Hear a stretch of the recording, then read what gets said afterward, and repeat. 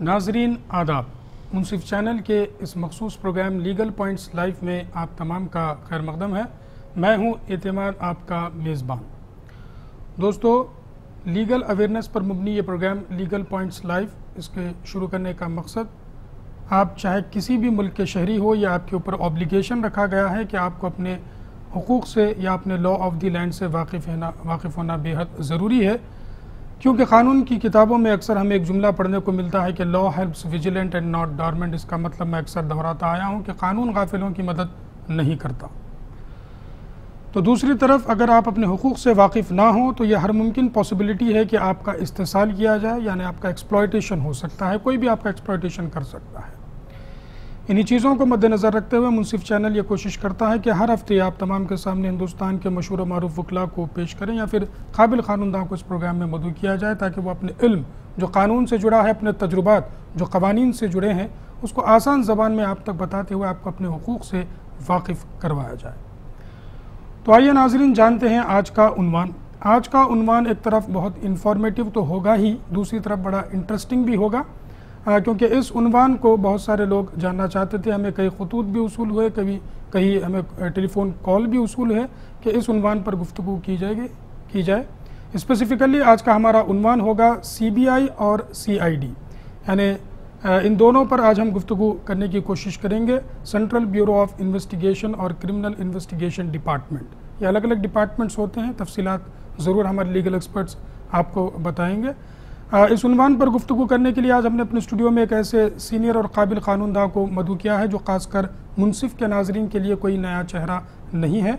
मैं बात कर रहा हूँ मोहम्मद रफ़तुल्ला एडवोकेट साहब की, सीनियर एडवोकेट साहब की, जो गुज्त तकरीबन तैंतीस बरसों से हैदराबाद दक्कन के क्रिमिनल कोर्ट्स में प्रैक्टिस करते आ रहे हैं। साहब ना ही हिंदुस्तान में, बल्कि बैन अवी सतह पर भी शहरत रखते हैं। तो आइए नाजरीन, आप और हम मिलकर हमारे इस प्रोग्राम लीगल पॉइंट्स लाइव में मोहम्मद रफ़तुल्ला सीनियर एडवोकेट साहब का हम खैर मकदम करते हैं। अस्सलाम वालेकुम साहब। एक बार फिर से आप हमारे स्टूडियो में मौजूद हैं हमें बेहद खुशी है। सी बी आई और फिर उसके बाद सी आई डी पर भी अगर मौका मिलता है तो उस पर भी आज हम गुफ्तु करने की कोशिश करेंगे। उससे पहले नाजरीन, हमारे फ़ोन नंबर आते उम्मीद करता हूँ कि टेलीविज़न स्क्रीन पर भी आपको नज़र आ रहे होंगे, फिर भी मैं दोहराता चलूँ, zero four zero double six double six double zero five eight. दूसरा नंबर है zero four zero double six double six double zero five nine programme क्योंकि रास्त टेलीकास्ट किया जा रहा है आज 24 मई 2014 को इस प्रोग्राम को लाइव टेलीकास्ट कर रहे हैं। प्रोग्राम के दौरान क्रिमिनल केसेस से रिलेटेड कोई भी सवाल हो तो आप हमको कॉल करके साहब का ओपिनियन हासिल कर सकते हैं। उसके साथ साथ जो सीबीआई या सीआईडी से मुतल कोई सवाल आपके पास हो आ, हम तो प्रोग्राम में गुफ्तु करेंगे ही। आपके पास भी कोई सवाल हो तो ज़रूर आप हमें इस प्रोग्राम में कॉल करिएगा। जब कभी आप सवाल करें तो सवाल मुख्तसर से मुझे, मुझ तक पहुँचाएँ। दूसरा, अगर आप हमसे टेलीफोन पर जब कभी गुफ्तु करें तो मुझे टेलीफोन पर ही सुनिएगा। टेलीविज़न पर सुनने की कोशिश ना करें, डिस्टर्बेंस होता है और एक खदसा रहता है कि आपका कॉल ड्रॉप हो जाए। सेल फ़ोन पर जब आप हमसे गुफ्तु करें तो खुले में आकर कॉल कीजिएगा। अगर टावर ना मिले तो फिर आपकी आवाज़ हम तक बराबर नहीं पहुँच पाएगी। उम्मीद के हर हफ़्ते की तरह इन तीनों चीज़ों पर आज भी आप हमारा भरपूर ताउन करेंगे। आइए प्रोग्राम को आगे बढ़ाते हैं। गुफ्तु का आगाज़। सबसे पहला सवाल मैं मोहम्मद रफ़तुल्ला एडवोकेट साहब से यह करना चाहूँगा कि सी बी आई यानी सेंट्रल ब्यूरो ऑफ़ इन्वेस्टिगेशन ये जो इदारा है, इसको क्यों कायम किया गया? क्या वजूहत थी और इसको एक्चुअली कब कायम किया गया हिंदुस्तान में? इस पर तफसीली रोशनी डालें। सी बी आई पहली मरतबा आवाम की नज़रों में और सोसाइटी में माशरे में उन्नीस सौ तिरसठ में मालूम हुआ एक नोटिफिकेशन के ज़रिए। और वो नोटिफिकेशन गवर्नमेंट ऑफ़ इंडिया यानी सेंट्रल गवर्नमेंट ने जारी किया जिसको जिसका सोर्स 1946 का दिल्ली पुलिस इस्टेब्लिशमेंट एक्ट है। जी। दिल्ली पुलिस इस्टेब्लिशमेंट 1946 में इनेक्ट होने से पहले एक मखसूस शोबा काम करता था और बहुत कम लोग जानते थे शोबे के बारे में। ये अंग्रेज़ों का एक ऐसा शोबा था जो वार क्राइम्स और जो एंटी ब्रिटिश जो लहरें हिंदुस्तान में आज़ादी की चल रही थी उनके बारे में मालूम करना। और ये शोबा बहुत कम लोगों को मालूम है कि डायरेक्ट स्कॉटलैंड गेट के इंस्ट्रक्शन पे काम करता था। जी। जिसके लिए आम आदमी को या कई आला लोगों को भी मालूम नहीं था कि कोई एक शोबा है जो ये मुल्क में काम कर रहा जो स्कॉटलैंड यार्ड के तहत है। ये इस वक्त सामने आया जब 1945 में जब आज़ादी की जद्दोजहद काफ़ी उरूज पे थी और ब्रिटिश पार्लियामेंट भी आज़ादी के लिए तैयार हो चुकी थी। तो जब ये शोभा सामने आया जी। ये शोभा सामने आने के बाद अंग्रेज़ फ़ौरन अपनी चालाकी से इसको 1946 के एक्ट के तहत दिल्ली पुलिस इस्टेब्लिशमेंट एक्ट बना दिया। जी।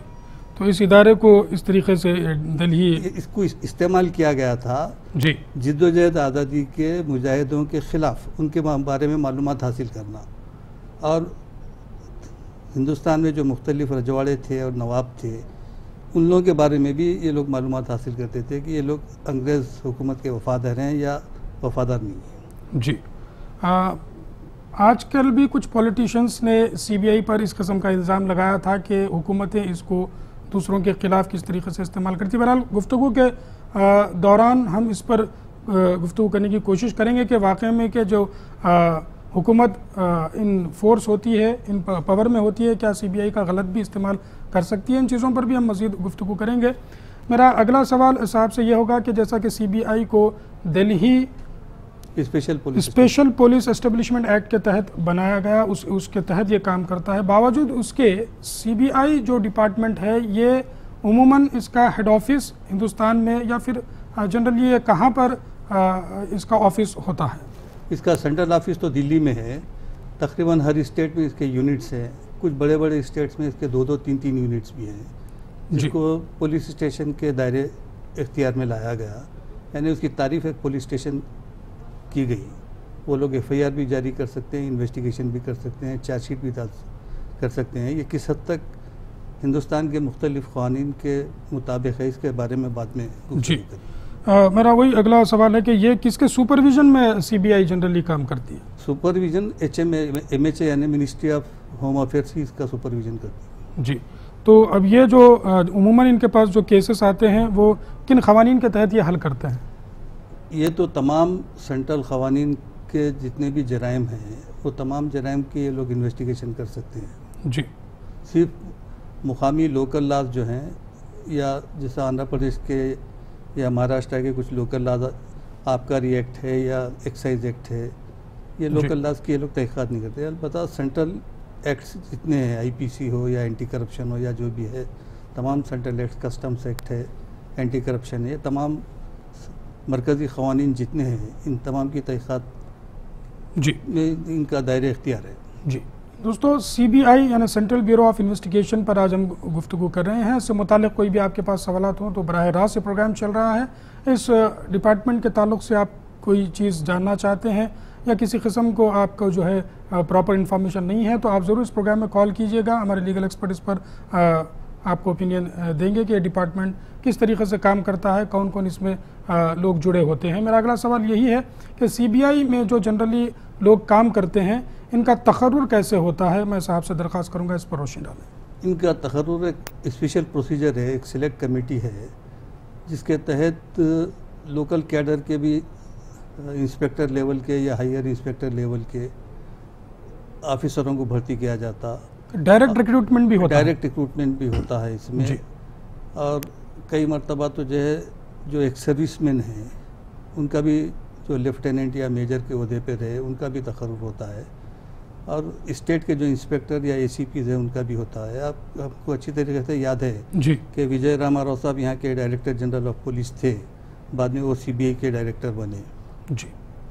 तो जैसा कि स्पेशल कमेटी होती है जो डायरेक्ट तकर्रुर भी करती है इम्तहान वगैरह लेकर के ये डायरेक्ट टेस्ट रहते हैं ज़्यादातर इंटरव्यूज़ और दयानतदारी पे मुनसर रहता जी मेरा वही सवाल था कि इसमें जो लोगों को जैसा आपने फरमाया तो डायरेक्ट रिक्रूटमेंट है दूसरा अदर डिपार्टमेंट से भी लोगों को चुना जाता है तो जब चुनते हैं तो किन चीज़ों को मद्देनज़र रख के चुना जाता है? पहली चीज़ तो ये देखा जाता है कि इनके experience as a police officer या as an army intelligence officer या और किसी कनेक्टेड शोबे में इनका एक्सपीरियंस इनका क्वालिफिकेशन और इनके क़ानूनी मालूम और प्रोसीजर और इनका सबका सर्विस फ़ाइल भी देखा जाता है कि या कभी ये सस्पेंड रहे या किसी बदनवानी में शामिल रहे ये तमाम चीज़ें गौर किया जाता है। दियानतदारी की जैसा आपने बात की है तो इन इस चीज़ को भी अहमियत दी जाती है। दियानतदारी का तो मसला ऐसा है कि अब्सोल्यूट दियानतदारी तो कहीं भी नहीं हो सकती। जी।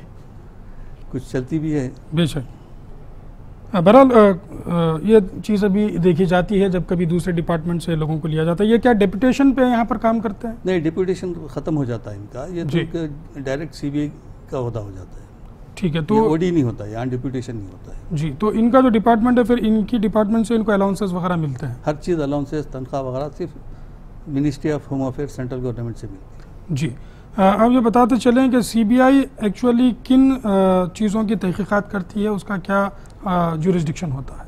इनका जुरिस्डिक्शन तो वाइड है मगर आमतौर से पहली चीज़ तो ये एंटी करप्शन एक्ट के तहत इन लोगों का पावर स्टेट गवर्नमेंट के ऑफिसर पे लोग नैब नहीं कर सकते ना उनकी तहक़ात कर सकते अलबत्त सेंट्रल गवर्नमेंट एम्प्लॉई है पब्लिक सेक्टर इंडस्ट्रीज़ है जी। या पब्लिक सेक्टर ऑर्गेनाइजेशन जैसा रेलवेज़ है पब्लिक सेक्टर बैंक्स है स्टेट बैंक ऑफ़ इंडिया हो या कौमी कौमिया वे बैंक।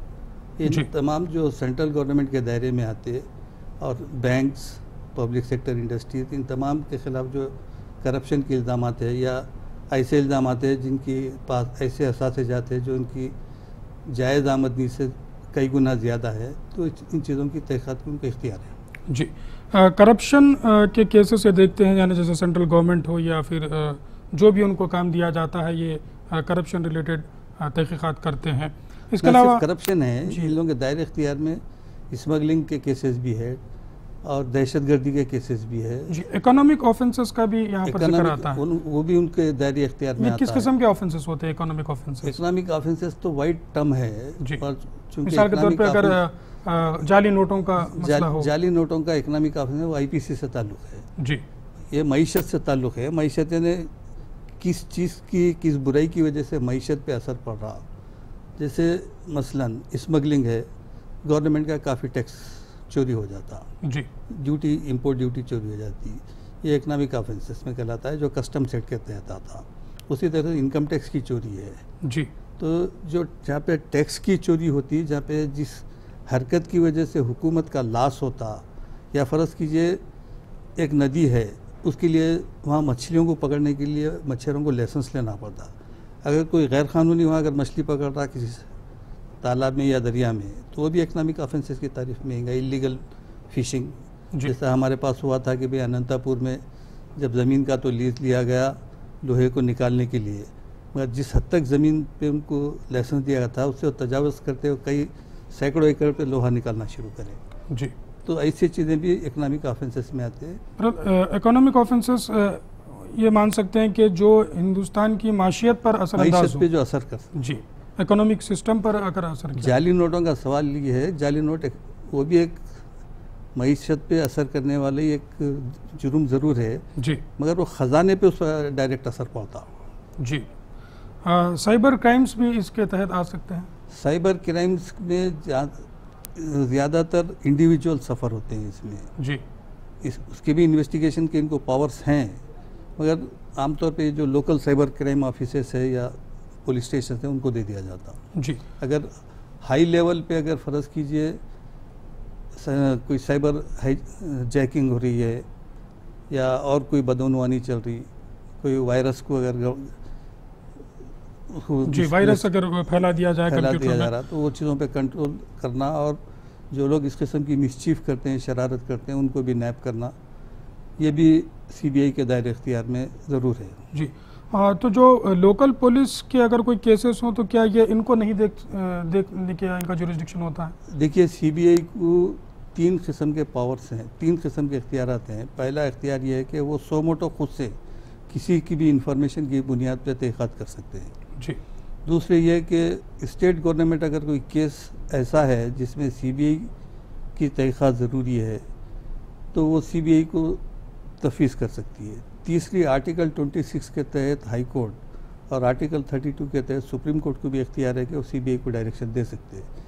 एक प्राइवेट कंप्लेंट खान की इस्तेगासा समझिए, ऐसा सीबीआई को रिफ़र नहीं किया जा सकता, ना लोकल कोर्ट्स को, मुकामी जो तहत की अदालत है। इनको भी इख्तियार नहीं है कि वो सीबीआई को डायरेक्शन दे। सीबीआई को डायरेक्शन देने का सवाल सिर्फ़ हाई कोर्ट को और सुप्रीम कोर्ट को स्टेट गवर्नमेंट या सेंट्रल गवर्नमेंट या वो खुद से सो मोटो जी जैसा कि Delhi special police special act के तहत ये बनाया गया है। तो चूँकि ये दिल्ली बेस्ड एक ऑर्गेनाइजेशन अगर मान लिया जाए तो फिर अ, मुल्क के दूसरे स्टेट्स पर ये किस तरीके से काम करता है फिर? नहीं नहीं दिल्ली चूँकि उस वक्त स्टेट नहीं था। 1946 में वो स्टेट नहीं था वो कैपिटल था। जी। तो वो एक नामन क्लेचर है कि डेली पुलिस इस्टेब्लिशमेंट एक्ट मगर उसका दायरे अख्तियार सारा हिंदुस्तान है। जी। तो क्या जैसे कि सारा हिंदुस्तान है तो क्या कश्मीर में भी ये सीबीआई क्या वहाँ पर इन्वेस्टिगेट कर सकते हैं? अगर फ़र्ज़ कीजिए कि कोई ऑफेंस अगर पंजाब में हुआ है जिसकी जड़ें रूट्स या किसी किस्म के कनेक्शंस अगर कश्मीर में भी हैं तो उनको इख्तियार है कि ऐसा केस वो जी। इन्वेस्टिगेट कर सकते हैं तहक़ात कर सकते हैं। मगर अगर कोई ऐसा ऑफेंस है जो प्योरली जम्मू एंड कश्मीर के इलाके में हुआ है तो जब तक कि वहाँ की गवर्नमेंट उसको तफीज़ ना करे उस वक्त उनको इख्तियार नहीं है। जी एक कॉलर को मैं शामिल करता हूँ। देखते हैं कौन साहब है क्या जानना चाहते हैं। हेलो आपका नाम बताइए प्लीज़ अस्सलाम वालेकुम। वालेकुम सलाम आपका नाम? जी मैं असद खान बात कर रहा हूँ निज़ामाबाद से। जी खान साहब फरमाइए। जी मेरा एक सवाल है खाली। जी। जी ये सीआईडी जो होता है क्राइम इन्वेस्टिगेशन डिपार्टमेंट जी। जब अगर किसी शख्स का जब जो मर्डर हो जाता है जी। तो उसकी तहकीकात के लिए अपन पुलिस स्टेशन में जो सो अ, मतलब एफ़ आई आर लिखाते हैं वो लोग जो सो अगर तहकीकात नहीं करते हैं जी। जी हेलो। जी फरमाइए। हाँ जी वो लोग अगर तहकीकात सही नहीं करते हैं तो हमें अगर सीआईडी से रब्ता तलब तलब करना है तो कैसा मतलब कैसे हम जी, अ, जा ठीक है। सकते हैं उनके साथ। ठीक है बहुत शुक्रिया आपने हमें कॉल किया। सीआईडी से कैसे रुजू हो सकते हैं ज़रूर हम इस पर गुफ्तु करेंगे। सीबीआई के मतलब और थोड़े से अहम सवाल हैं इसको पहले आप जान लीजिए खान साहब। फिर ज़रूर हम सीआईडी पर भी हम गुफ्तु करेंगे। मेरा अगला सवाल साहब से ये होगा कि बहुत सारे स्पेशल डिपार्टमेंट से हमारे पास जैसा अभी कॉल आया था हमें सीआईडी भी है एनआईए भी है। और अगर हैदराबाद की हद तक देखा जाए तो एक सीसीएस करके भी हमारे पास पुलिस स्टेशन होता है।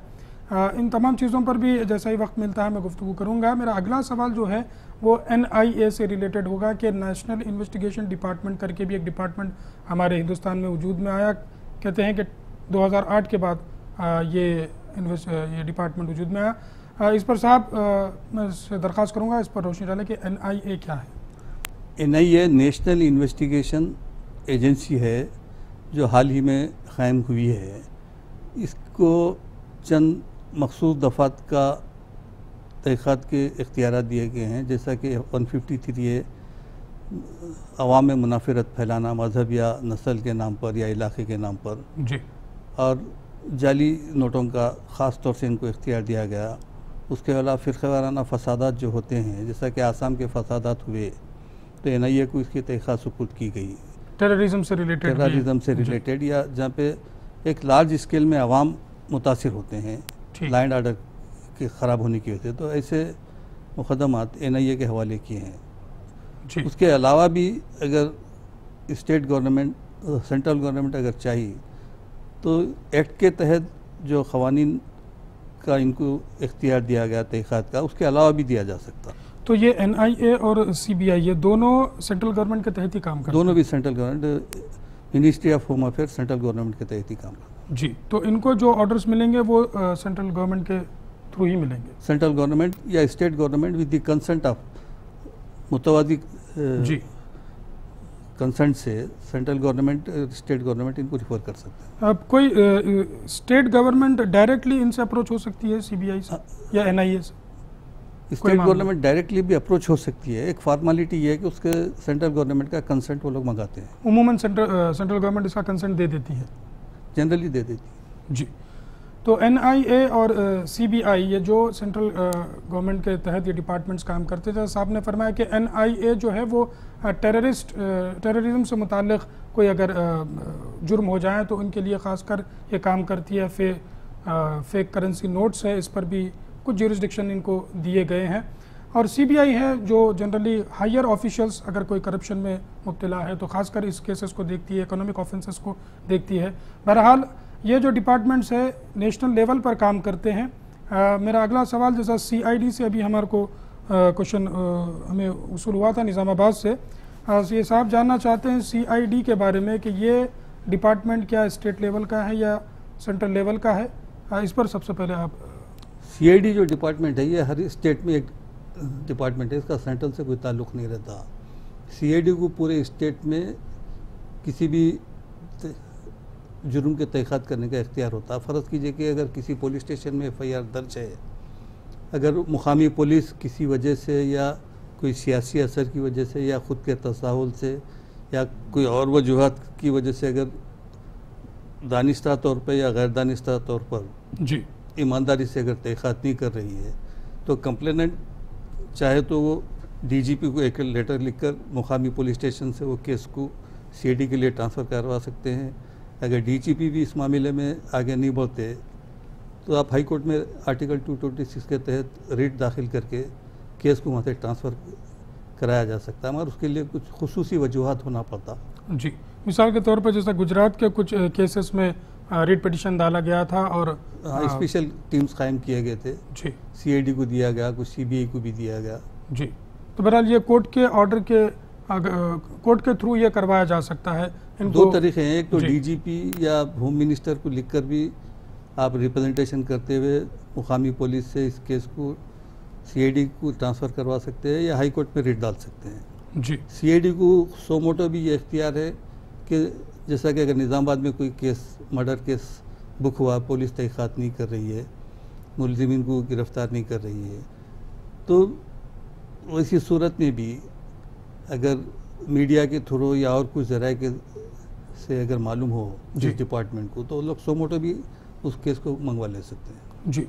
आ, सुमोटो से रिलेटेड मेरा अगला सवाल होगा कि सीबीआई जो डिपार्टमेंट है आ, ये सुमोटो जनरली किन केसेस में देखा गया है कि ये सुमोटो एक्शन लेते हैं। सीबीआई को कंप्लेंट एक प्राइवेट पार्टी से लेने का इख्तियार नहीं है। अगर जो।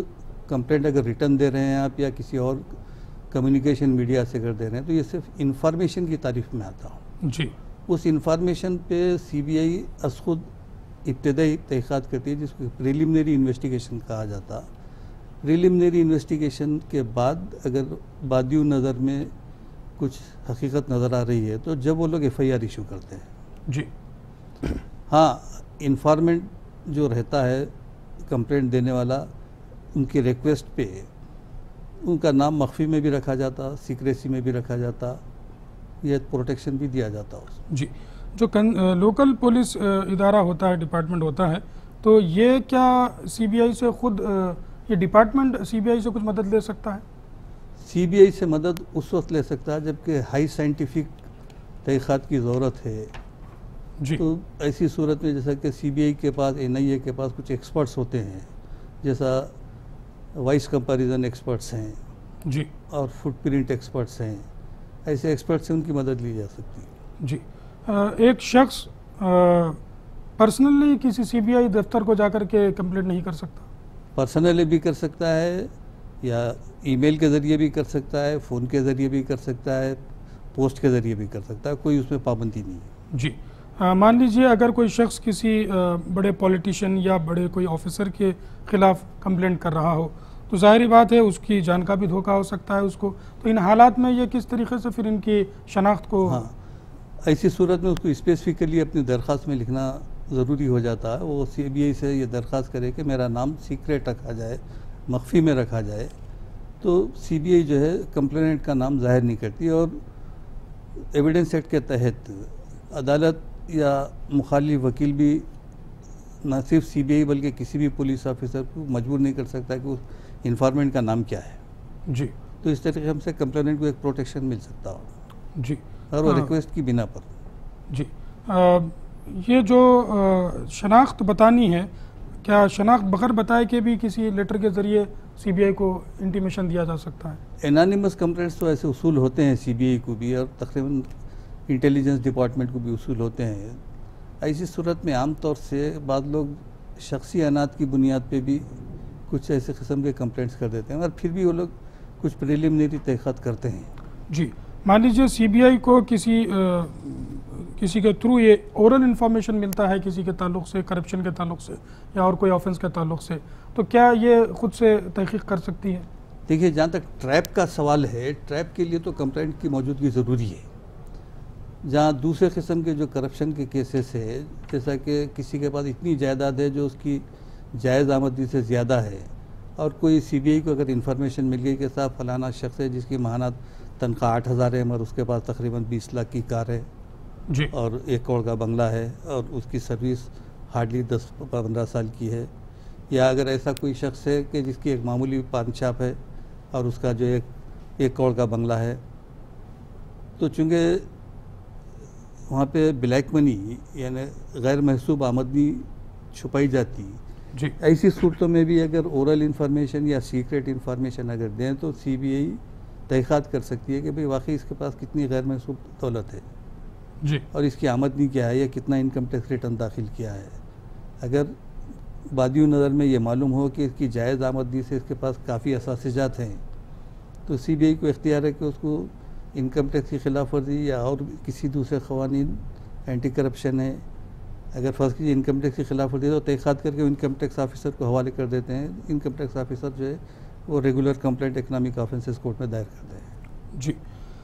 आ, कभी कोई ऑफिसर आपसे अगर रिश्वत माँगता हो तो इन हालात में कुछ हम अखबार में भी पढ़ते हैं, टेलीविज़न पर भी देखा करते हैं कि सीबीआई वालों ने जाकर उसको रेड हैंडेड पकड़ा या क्या कुछ हुआ। इस चीज़ के बारे में मैं साहब से जानना चाहूँगा कि ये जो पूरा मामला होता है कि किस तरीके से अगर कोई रिश्वत ऑफिसर माँगता है तो उसके बाद अगर कोई रिश्वत नहीं देना चाहता तो वो इन डिपार्टमेंट से कैसे रुजू हो सकता है और फिर उसको क्या क्या चीज़ों को प्रिकॉशन लेना होगा? इन डिपार्टमेंट से रुजू होते हुए फिर सीबीआई किस तरीके से कार्रवाई करती है?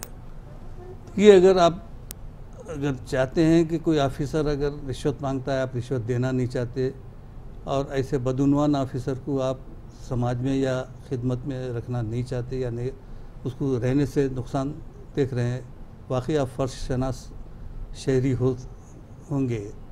ऐसी सूरत में आपको एंटी करप्शन डिपार्टमेंट जैसा स्टेट का है, जैसा कि फ़र्ज़ कीजिए कोई सेल टैक्स ऑफिसर रिश्वत मांग रहा है तो आप लोकल एंटी करप्शन डिपार्टमेंट को जाना पड़ेगा, जहाँ पे आपसे एक बयान लिया जाता या आप तालीम याफ्ता हैं तो एक दरख्वास्त ली जाती है, और जितनी रकम वो माँगता है, उतनी रकम आपको सी एंटी करप्शन ऑफिसर के पास रखाना पड़ता है।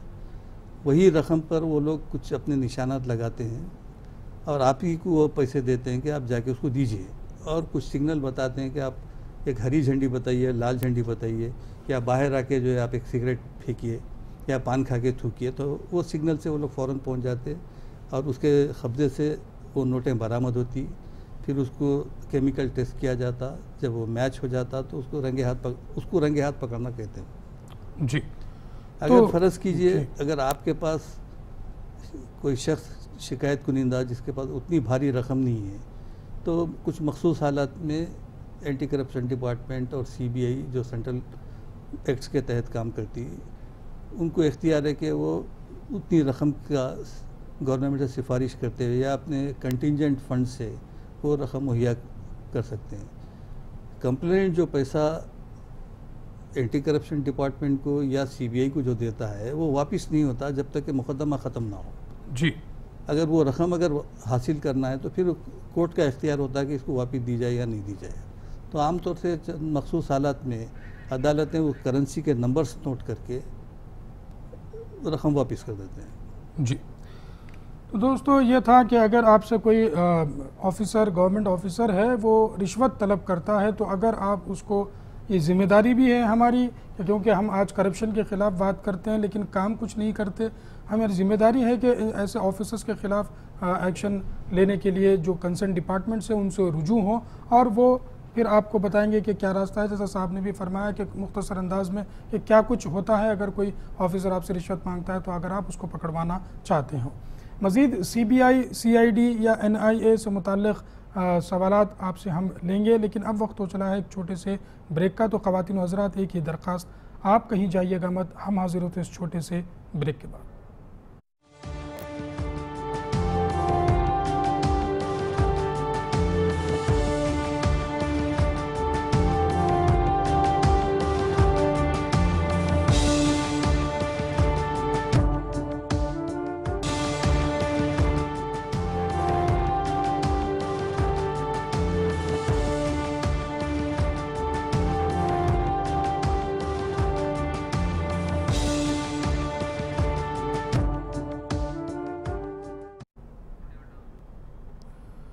नाजरीन, ब्रेक के बाद एक बार फिर आप तमाम का प्रोग्राम लीगल पॉइंट्स लाइव में खैर मकदम है। मैं हूँ एतमाद, आपका मेज़बान। आज हम गुफ्तु कर रहे हैं सीबीआई और सीआईडी पर, यानी सेंट्रल ब्यूरो ऑफ़ इन्वेस्टिगेशन और क्रिमिनल इन्वेस्टिगेशन डिपार्टमेंट। इन डिपार्टमेंट के मुतालिक आज हम गुफ्तु कर रहे हैं। इससे रिलेटेड कोई सवाल आपके पास हों तो आप ज़रूर हमको कॉल कीजिएगा। प्रोग्राम लाइव टेलीकास्ट किया जा रहा है। उम्मीद करता हूँ फ़ोन नंबर और टेलीविज़न स्क्रीन पर भी आपको नज़र आ रहे होंगे। फिर मैं एक बार दोहराता चलूँ। Zero four zero double six double six double zero five eight एक दूसरा नंबर भी है zero four zero double six double six double zero five nine दोस्तों सीबीआई और सीआईडी पर गुफ्तु करने के लिए आज हमारे साथ स्टूडियो में हैदराबाद दक्कन के मशहूर मरूफ senior advocate Mohammed Rafatullah advocate साहब हमारे साथ स्टूडियो में मौजूद हैं। ब्रेक में जाने से पहले हमने ट्रैप किस तरीके से सीबीआई डिपार्टमेंट हो या एंटी करप्शन डिपार्टमेंट हो, किसी भी जो रिश्वत लेना चाहता है ऑफिसर उसको किस तरीके से ट्रैप करते हैं इस पर हमने गुफ्तु की थी। साहब ने दौरान गुफ्तु ये बताया था कि जो पैसा at the time of trap दिया जाता है वो कंप्लेनेंट का ही पैसा होता है। मेरा साहब से सवाल है कि जैसा कि साहब ने बताया कि जो पैसा आ, अदालत में वो पैसा रख दिया जाता है जब तक कि केस मुकम्मल ना हो। केसेस तो काफ़ी लंबे चलते हैं कभी दो साल तीन साल कभी पाँच साल भी लग जाते हैं। तो तब तक अगर छोटा अमाउंट हो तो ठीक है, फिर भी वहाँ पर ठीक है, रख सकते हैं। लेकिन अगर बड़ा अमाउंट हो तो इन हालात में क्या उसको किसी तरीके से पैसा वापस मिल सकता है? हाँ पैसा वापस मिल सकता है। उसकी शर्त यह है कि अदालत में ज़रिए वकील या ख़ुद इसालतन भी दरख्वास्त दी जा सकती है कि साहब, मेरे को पैसे की ज़रूरत है, मेरा पैसा वापस कीजिए। अदालत मुख्तलिफ़ पहलुओं से और मुख्तलिफ़ जाविये से गौर करने के बाद करेंसी के नंबर्स नोट करते हुए अदालत को इख्तियार है इख्तियार मजाजी है तमीज़ी है जी। कोई मैंडेटरी नहीं है कि कोर्ट ज़रूर वापस करे। अदालत को इख्तियार के मखसूस हालात में वो रकम कंप्लेनेंट को वापस भी की जा सकती है। जी। तो बहरहाल वहाँ पर डिस्क्रिशनरी पावर है अदालतों का कि और एक बात। जी। अदालत को ये भी इख्तियार है कि उस रकम की तमानियत पे बहुत ऐसा काफ़ी कम होता है शादो नाजिर होता है कि उस रकम की तमानियत पर आप बैंक से बिलासुदी ख़र्ज भी हासिल कर सकते हैं। जो कम बैंक्स देते हैं शायद आवाम को नहीं मालूम इस बारे में। हिंदुस्तान में दो चार कुछ ऐसे बैंक्स हैं। अगर फ़र्ज़ कीजिए एक दस लाख रुपए आप रिश्वत दे चुके हैं किसी को दस लाख रुपए आपकी अदालत में फंसे हुए हैं। अगर मुलजिम बरी भी अगर हो जाए तो दस लाख वापस होने वाले हैं। अगर उसको सज़ा भी हो जाएगी तो वापस होने वाले हैं। तो ये कुछ बैंकों को इख्तियार दिया गया। शायद एक दो बैंक मुझे बराबर याद नहीं है कि दिल्ली में है वो दस लाख रुपए ख़र्ज उस तमानियत पे भी देते हैं। जी। शायद इस बारे में मैं कुछ मालूम इसमें बराबर नहीं है मेरे को पर चूँकि ऐसे वाक़ात इक्का दुक्का बहुत ही शाद नाजिर हुए हैं। ठीक। हाँ, बहरहाल इस तरीके से आ, कुछ हो सकता है जैसा साहब ने फरमाया कि फ़िलहाल तो उन बैंकों के हमें नाम का जहन में नहीं है। लेकिन इस तरीके के अख्तियार कुछ बैंक्स को दिए गए हैं कि उस उतनी रकम वो जो है बिना सूद के या बहुत कम सूद के आपको जो है वापस की जाती है। खर्च के तौर पर दी जाती है। फिर आपको जब वो पैसे रिटर्न हो जाएँगे अदालत से तो फिर आप वो वापस दे सकते हैं। मेरा सवाल सवाल अगला ये होगा कि अगर कोई शख्स बिल्कुल ही गरीब हो जिसके पास पैसे रिश्वत क्या वो अगर खाने को भी पैसे ना हो उससे कोई रिश्वत तलब करता है? और वो अगर एंटी करप्शन डिपार्टमेंट या सीबीआई के पास जाता है तो इन हालात में फिर वो पैसों का अरेंजमेंट कैसे करेगा? हाँ सीबीआई को इख्तियार है और एंटी करप्शन डिपार्टमेंट को भी इख्तियार है कि वो सरसरी तहक़ात करते हैं कि वाकई कि इसका केस जिनुइन है।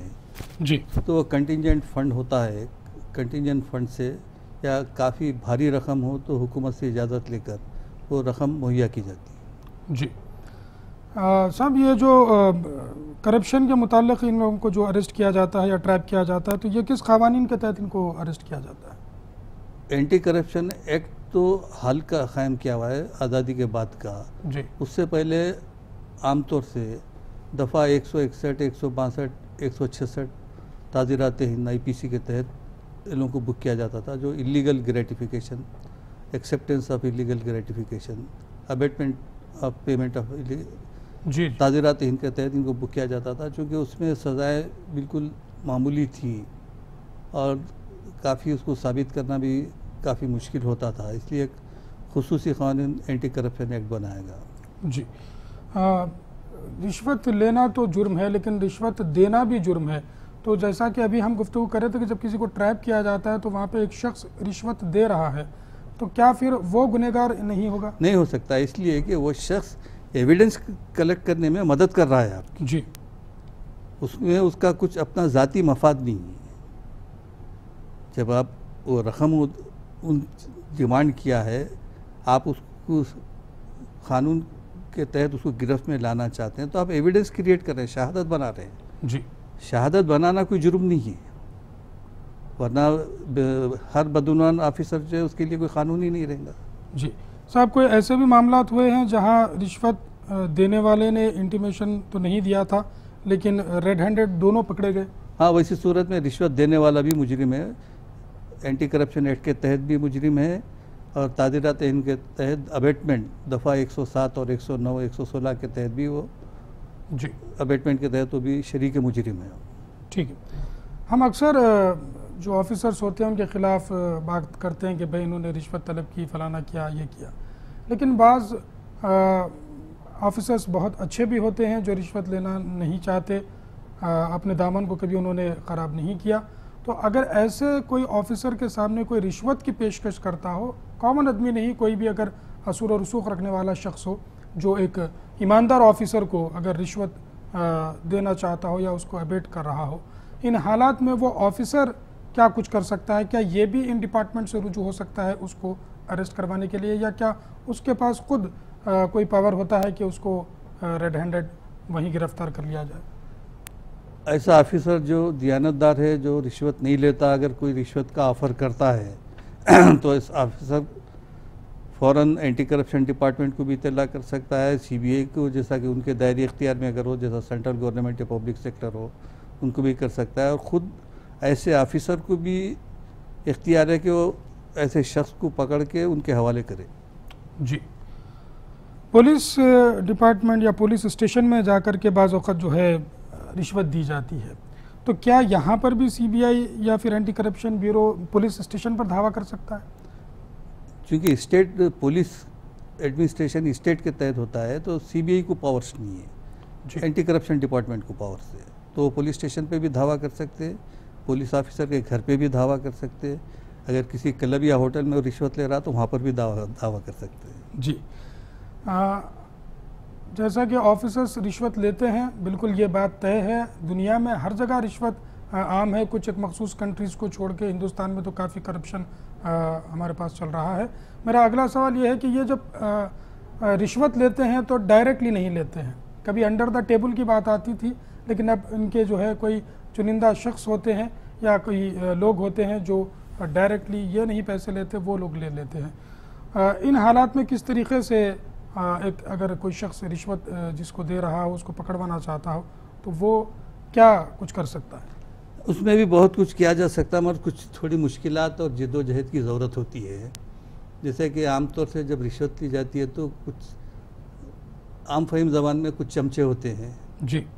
जो पुलिस के कलेक्टर बने हुए रहते हैं यानी कलेक्शंस करते हैं। जी जी। तो ये लोग क्या करते हैं कि एक मखसूस जगह का पता देते हैं कि साहब आप जुबली हिल्स पे आ जाइए। तो इनका जो कलेक्टर रहता है या चमचा समझिए या जो भी समझिए वो जुबली हिल्स के फलाने मुकाम पे रहता है और रिश्वत देने वालों की बोलता है कि आप जुबली हिल्स में फलाने मुकाम पे आइए। और इनका मोडस ऑपरेंडी इतना चालाक रहता कि जैसे वो आदमी फ़र्ज़ करिए जुबली हिल्स में उन्होंने पता दिए हैं कि अपोलो हॉस्पिटल के पास आइए। ये आदमी वहाँ जाने तक जो है अपोलो हॉस्पिटल पे वो आदमी नहीं रहेगा। जी।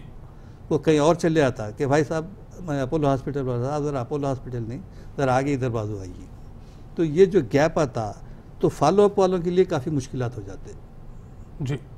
कि जब मैं अपोलो हॉस्पिटल पहुँचता तो जगह बदल जाती। ये इन्फॉर्मेशन फिर ऑफिसर्स को देने तक काम हो जाता। हो जी।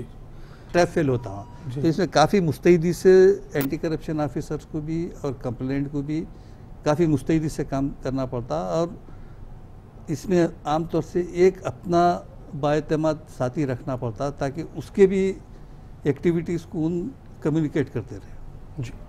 तो जनरली ये जो इनके साथी होते हैं साहब अगर जब जो ऑफिसर पर केस बन जाता है तो ये जो साथियों को भी गिरफ़्तार बिल्कुल ये भी अबेटमेंट में आते हैं प्रिपरेशन में आते हैं और कॉन्स्पिरेसी में आते हैं।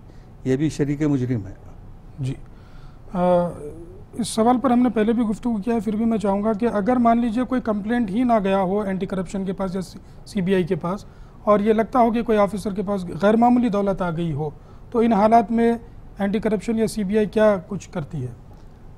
अगर उनको सो मोटो कुछ इन्फॉर्मेशन अपने मुखबरों से अगर मिलती है जी। या किसी और ज़रिए से अगर मिलती है तो ये लोग अस खुद जाकर रेड कर सकते हैं तमाम घर की तलाशी ले सकते हैं। तलाशी के दौरान में जितने असाजात या डॉक्यूमेंट्स वगैरह मिलते हैं उन सब का वैल्यूएशन किया जाता। और फ़र्ज़ कीजिए वो सर्विस में अगर उसकी माहाना पच्चीस हज़ार तनख्वाह है तो एक साल की तकरीबन तीन लाख होती है। दस साल की सर्विस में तीस लाख रुपए होते हैं। तीस लाख भी अगर उन पूरे बचाया है तो अगर एक करोड़ के असाजात अगर निकले तो सत्तर लाख वो ब्लैक मनी है। और प्रिजम्पशन कानूनी तस्वर ये है कि ये रिश्वत से कमाया गया। जी। जिसका बार सबूत मुलजिम पे होता है कि वो ये साबित करे कि ये जायज़ आमद नहीं है। तो उसके लिए मुख्तलिफ़ बहाने बनाते हैं कि भाई इसमें जो जेवर निकला मेरी बहन का है वो हिफाजत के लिए रखी थी। बहरहाल कई कई मरतबा जो है ऐसे चालें कामयाब भी हो जाती हैं कई मरतबा नाकाम भी हो जाती हैं। सब ये जो अगर सीबीआई को कोई इंटीमेशन दे या इंफॉर्मेशन दे तो क्या ज़ाहिर बात है ये हुकूमतों की कोई शख्स मदद करना चाहता हो? तो इन हालात में क्या उसको कोई रिवार्ड वगैरह भी दिया जा सकता है? रिवार्ड्स तो कुछ मखसूस केसेस के लिए हर केस के लिए नहीं है। जी। वो टाइम टू टाइम जो है सीबीआई को अंदरूनी तौर से बिल्कुल खुफिया तौर से उसके इंस्ट्रक्शंस होते हैं रिवार्ड देने के लिए। जी बाज़त हम अखबार में देखते हैं कि किसी मुजरिम के लिए कोई रिवार्ड रखा जाता है। ये रिवार्ड पुलिस डिपार्टमेंट ये रिवार्ड जो है मफरूर मुलजिमिन के लिए है। जी। कि कोई मुलजिम अगर फ़रार हो चुका है तो उसके लिए रिवार्ड रखा जाता। और कुछ कानूनों में भी गुंजाइश रखी गई कि इन्फॉर्मेंट्स को रिवार्ड दिया जाए। जैसा ए पी गेमिंग एक्ट है। जी। ए पी गेमिंग एक्ट के तहत अगर रेट के बाद जो भी जुए का पैसा जब्त होता तो क़ानूनी तौर से इन्फॉर्मेंट को उसमें कुछ परसेंटेज देना लाजमी हो जाता। जी। आ, आपकी नज़र में जो सी बी आई तहकीक़ात करती है इस कस्म के करप्ट ऑफिसर्स को पकड़ती है या और किसी केसेस में पकड़ती है तो ये क्या रेट रहता है जनरली लोकल पुलिस और इनमें फ़र्क जो है कि क्या अच्छी तरीके से ये काम कर रहे हैं? देखिए जितने तोक़ात थी सी बी आई से उतनी तोक़ात में तो पूरी नहीं उतरी जी। पहली चीज़ तो इनके पास काफ़ी मशीनरी होती है, हर किस्म के एक्सपर्ट्स होते हैं, तमाम चीज़ें होते हैं। चार्जशीट भी काफ़ी ज़ख़ीम होती है, मगर अदालतों में इनका रिप्रेजेंटेशन प्रॉपर नहीं होता, वक्त पे गवाह पेश नहीं करते। और जो गवाह होते हैं, कुछ बनावटी भी होते हैं, रियल गवाह नहीं रहते। ऐसे कई आंसर हैं तो अब मौजूदा सूरत हाल में 2010 के बाद से, सीबीआई के केसेस में कन्विक्शन और एक्विटल का रेट कभी 40 टू 60 जाता तो कभी 60 टू 40 जाता। और जहाँ तक इंटरनेशनल स्टैंडर्ड का सवाल है कि सीबीआई के केसेस इंटरनेशनल स्टैंडर्ड के लिहाज से तहक़ात नहीं होते ना इंटरनेशनल स्टैंडर्ड के लिहाज से चार्जशीट तैयार होती है। जैसा कि मैं बताऊँगा आपको कि ये बहुत इंपॉर्टेंट है ताकि हर शहरी को मालूम होना चाहिए। जी। हांगकांग में दुनिया के सबसे बदनाम स्मगलर अमीर अली गिरफ़्तार हुआ था। ये शायद एक तीस पैंतीस साल पहले की बात या नाइन्टीज़ की बात है। सीबीआई उसको गिरफ्तारी के लिए वहाँ पहुँची। वहाँ की अदालत में हवालगी की जब दरख्वास्त दी तो रिजेक्ट हुई। इसलिए कि सीबीआई अपनी तहक़ात से वो इंटरनेशनल स्टैंडर्ड के जजेस को मुतमिन नहीं कर सकी। जी। यही हाल खतरुची का आवाज़ मलेशिया की हाईकोर्ट ने हवालगी से इनकार कर दिया। देखिए आप Amanullah Khan Jammu and Kashmir national liberation front के जो कारकुन थे उनको बेल्जियम में गिरफ़्तार किया गया था। जब बेल्जियम में गिरफ़्तार किया गया तो बेल्जियम की अदालत भी हवालगी के लिए इनकार की। मूसीखार नदीम का जब मामला था तो लंदन हाई कोर्ट भी हवालगी के लिए हुक्म दे चुकी थी मगर हाउस ऑफ़ लॉर्ड्स में सीबीआई अपना केस सही रिप्रेजेंटेशन नहीं कर सकी और इनका इंटरनेशनल स्टैंडर्ड पे चार्जशीट नहीं था इसलिए नदीम को हाउस ऑफ़ लॉर्ड्स पर ही कर दी। अब रहा अबू सालम का सवाल। अबू सालम चूँकि पुर्तगाल की गवर्नमेंट ने उसको गिरफ़्तार किया था जी। और ऐसे शराइ रखी है पुर्तगाल हुकूमत हवालगी के वक्त। और चूँकि बादियों नज़र में बॉम्बे बम ब्लास्ट का केस था जो इंटरनेशनल सेंसेशन में आ चुका था 25 शराइ के साथ अबू सालम को हवाले किया गया जिसमें दो शर्तें बहुत अहम है। एक तो ये कि किसी भी सूरत में अबू सालम को अगर केस साबित होने पर सज़ाए मौत नहीं दी जा सकती। जी। दूसरी अहम चीज़ ये है कि किसी भी सूरत में 25 साल से ज़्यादा उसको कैद में नहीं रखा जा सकता। जी। तो ये केस में कामयाब हुई है। इससे पहले एक बात ये बताइए साहब ये जो कंडीशंस पोर्चुगल हुकूमत रखी है तो ये इतनी मेहरबान अबू सालिम पर क्यों है? ना अबू सालिम पे मेहरबान नहीं है चूँकि यूरोपियन यूनियन के तहत पुर्तगाल भी यूरोपियन यूनियन का मेंबर है। यूरोपियन यूनियन के तहत सजाए मौत नहीं है। और किसी भी शहरी को कितनी मियाद तक सज़ा देना चाहिए वह पुर्तगाल हुकूमत का कुछ इख्तियार है स्पेन की हुकूमत का कुछ इख्तियार है यूके की गवर्नमेंट का कुछ इख्तियार है ये उनके इख्तियार में शामिल है। ये अबू सालम पे मेहरबानी नहीं है ये उनके अपने कवानीन हैं। क्योंकि आप उनकी सरजमीन से गिरफ़्तार किए उनकी इजाज़त से आप लेके आ रहे हैं। ठीक। बहरहाल अ, ये बहुत अहम चीज़ थी लोगों के जहनों में जो शकूक थे। मैं उम्मीद करता हूँ कि साहब ने जो बेहतर अंदाज में समझाया कि ये जो लोगों को गिरफ़्तार किया जाता है बाज़ अवत वो क्यों छूट जाते हैं? दूसरे कंट्रीज़ से उनको यहाँ पर क्यों नहीं लाया जा सकता? और अबू सलीम का मामले में भी साहब ने बताया कि पोर्चुगल हुकूमत ने किस, किन कंडीशंस पर यहाँ पर अबू सलीम को हवाले किया है। सीबीआई जब कभी कोई तहकीकात करती है तो बरसों बरस लग जाते हैं। क्या वजूहत है कि इतना टाइम ये लोग लगाते हैं? देखिए सीबीआई को ऐसे केसेस दिए जाते हैं जो आमतौर से मुकामी पुलिस हल नहीं कर सकती। इसलिए कि बास केसों में सुराख लगाने के लिए काफ़ी वक्त लग जाता। और एविडेंस को कलेक्ट करना पड़ता। एक्सपर्ट्स रिपोर्ट्स फिंगरप्रिंट एक्सपर्ट्स है हैंड राइटिंग एक्सपर्ट्स है वॉइस एक्सपर्ट्स है। जी। ये तमाम रिपोर्टें हासिल करने में भी काफ़ी टाइम लग जाता। और कई मरतबा ऐसा भी होता है कि इनको एक मुकाम से दूसरे मुकाम को जाना पड़ता। मिलिट्री इंटेलिजेंस से कुछ मवाद कलेक्ट करना पड़ता था कि भाई ये आदमी इधर से उधर कब आया? कई मरतबा तो इनको एयरपोर्ट भी जाना पड़ता, वहाँ से जो सीसीटीवी से फोटेजेस लेना पड़ता कि वाकई आदमी एयरपोर्ट पे उतरा है। नहीं, इसलिए कि इनको ये साबित हर चीज़ साबित करना पड़ता। सीबीआई की तहकीकात आमतौर पे डायरेक्ट एविडेंस पे नहीं रहती। ये वाक़याती सरकमस्टेंशियल एविडेंस पे इनकी तहकीकात ज़्यादा होती है। और हर केस में जहाँ पे सरकमस्टेंशियल एविडेंस है, मुकम्मल सरकमस्टेंसेस कलेक्ट करने में काफ़ी टाइम लगता। जी। और मुकदमे की तवालत भी इसीलिए होती कि फ़र्ज़ कीजिए कोई मुलजिम नेपाल से दिल्ली उतरा दिल्ली में उसके सीसीटीवी में फ़ोटो है तो वो सीसीटीवी को प्रूव करने के लिए एयरपोर्ट का ऑफिसर आना पड़ेगा। जी। तो तो आज फ़ोन करते हो तो कल तो नहीं आएगा उसको भी अपनी ड्यूटी रहती उसको एक दस पंद्रह दिन की मोहलत देना पड़ता। अब बाज़ वक़्त ऐसा हो जाता कि भाई कोई एक आदमी ऑफिसर रहता वो आला अहदे पे पहुँच जाता उसको भी वक्त नहीं रहता। कभी इलेक्शन आ जाते हैं वो लोग बिज़ी हो जाते हैं। कभी कर्फ्यू लग जाता है केस तब्दील हो जाता। जी। अ, लेकिन उसकी अगर हम पॉजिटिव देखें तो बारीकी से वो तहकीकात करते हैं ताकि किसी किस्म का लूप होल उसमें हाँ देखिए। तहकीकात तो बारीकी से करते हैं इसमें कोई शक नहीं है। जहाँ तक दयानतदारी का सवाल है वो तो एक अलग चीज़ है। इन पर भी इन्फ्लुएंस चलता है हुकूमत वक्त इनको इस्तेमाल करती हैं ये तमाम चीज़ें चलते हैं। देखिए एक वाक़ है कि बफोर्स का केस सिर्फ़ चौंसठ करोड़ का केस था। दिल्ली हाई कोर्ट सरजनिश कर सीबीआई की की कि चौंसठ करोड़ के स्कैंडल के लिए आप 122 करोड़ सिर्फ़ फ्लाइटों का खर्चा और फाइव स्टार होटलों का खर्चा किए एक सौ बाईस करोड़ जी। अ,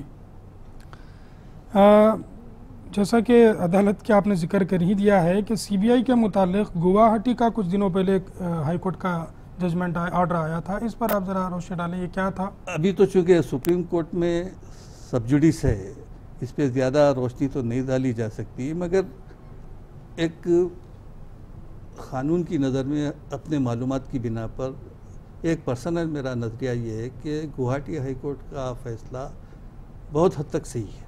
जी। इसलिए कि सीबीआई एक नोटिफाइड पुलिस स्टेशन नहीं है। टास्क फोर्स जो हैदराबाद में है ये कोई नोटिफाइड पुलिस स्टेशन नहीं है। इसी तरीके से स्पेशल इन्वेस्टिगेशन टीमें जो बनाते हैं ये भी कोई पुलिस स्टेशन है। मजिस्ट्रेट कागनिजेंस किस बुनियाद पे लेता है? कि साहब दफ़ा वन एक सौ नब्बे सी आर पी सी के तहत कंप्लेंट इस्तेगासे पे कागनिजेंस लेता है, या सोमोटो इन्फॉर्मेशन पे, या तीसरे पुलिस रिपोर्ट पर। पुलिस रिपोर्ट की तारीफ़ क्या है? वो section two R C R P C के तहत पुलिस रिपोर्ट का मतलब ये है कि स्टेशन हाउस ऑफिसर जो तहखात करता है या चार्जशीट दाखिल करता है, वो है पुलिस रिपोर्ट। तो अब सवाल ये पैदा होता है कि टास्क फोर्स हो या स्पेशल इन्वेस्टिगेशन टीम हो या सीबीआई हो ये स्टेशन हाउस ऑफिसर की तारीफ़ में नहीं है। तो इनकी रिपोर्ट को अदालत को कैसे इख्तियार है कि कागजेंस ले? ये एक मसला है शायद इसको सुप्रीम कोर्ट हल करे। जी। दोस्तों बहुत ही अहम चीज़ों को साहब ने बताया कि किस तरीके से ये नोटिफाइड पुलिस स्टेशन की तारीफ़ में नहीं आते एसएचओ की तारीफ़ में नहीं आते और गुवाहाटी का हाईकोर्ट का जो जजमेंट था। साहब ने जैसा फरमाया कि सब जुडिस मामला है, सुप्रीम कोर्ट इसको हल करेगा, लेकिन साहब ने अपना ओपिनियन, जो कानून वो जानते हैं, जिन चीज़ों से वो वाकिफ़ है, उस पर उन्होंने अपना जो है गुवाहाटी का, हाई कोर्ट का जजमेंट किस बुनियाद पे आया होगा, इसका ओपिनियन आपको दिया है। दोस्तों, बेशक कई सवाल आपके जहन में होंगे, उससे ज़्यादा जवाब मेरे लीगल एक्सपर्ट के पास भी मौजूद हैं, लेकिन वक्त मुझे इसकी इजाज़त नहीं दे रहा कि मैं प्रोग्राम को मज़ीद आगे बढ़ाऊँ।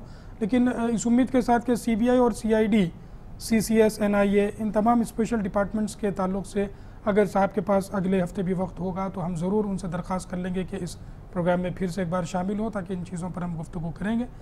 कल उनवान, कल का प्रोग्राम का उनवान नोट कर लें, जैसा कि आप वाकिफ़ हैं कि लीगल पॉइंट्स लाइव को हर हफ़्ता और इतवार पाँच से छः बजे के दरमियान पेश किया जाता है। कल हम गुफ्तु करेंगे बेल्स एंड श्योरिटीज़ पर। बेल किस तरीके से लिए जाते हैं श्योरिटीज़ का मामला क्या होता है इन तमाम चीज़ों पर हम कल गुफ्तु करने की कोशिश करेंगे। अब मुझ पर वाजिब है कि आप तमाम नाजरन की तरफ़ से और लीगल पॉइंट्स लाइफ की पूरी टीम की तरफ़ से आज के हमारे मेहमान मोहम्मद रफ़तुल्ला सीनियर एडवोकेट साहब का मैं शुक्रिया अदा करूँ।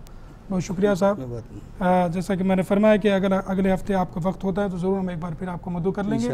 इन चीज़ों पर मज़ीद हम गुफ्तु करेंगे। इस उम्मीद के साथ कि कल इतवार शाम पाँच ता छः बजे के दरमियान मैं बेल्स और श्योरिटीज़ पर आ, फिर से मैं गुफ्तु करने की कोशिश करूँगा। तब तक के लिए लीगल पॉइंट्स लाइफ की पूरी टीम को